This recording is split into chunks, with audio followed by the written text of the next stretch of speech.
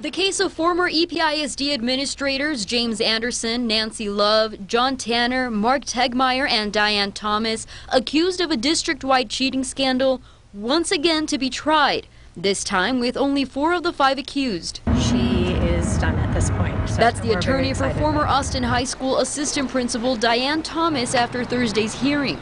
U.S. District Judge Daniel Briones dropping Thomas's only charge of alleged retaliation. I think it was definitely the right result um, based on everything that we've filed and everything that everyone has heard.